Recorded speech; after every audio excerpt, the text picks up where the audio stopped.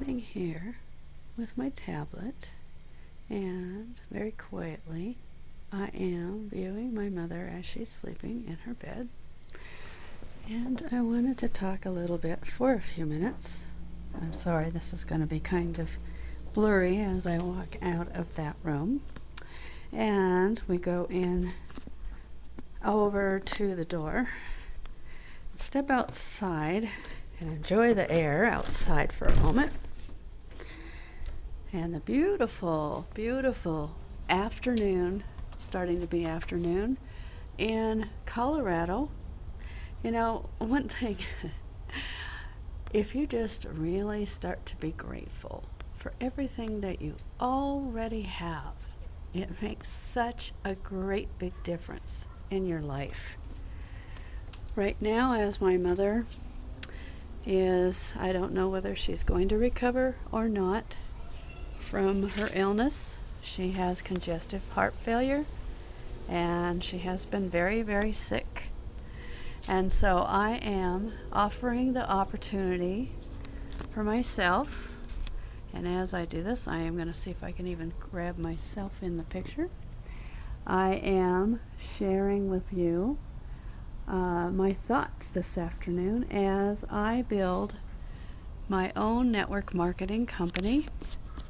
And I share with you that even while you are building your business, you're going to have life happening to you.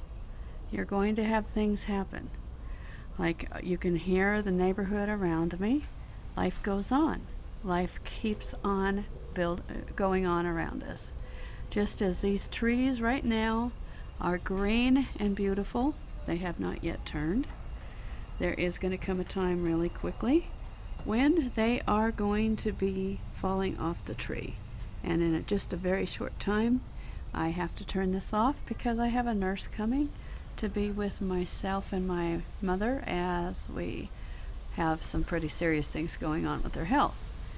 But I don't give up my life. I don't give up my business. I keep working it around the cracks of what I am doing in my life.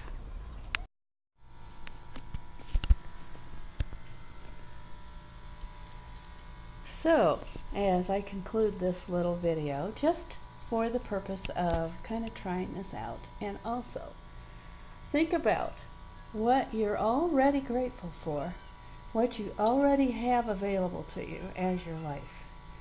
Because as you get more grateful for what you already have, better things happen.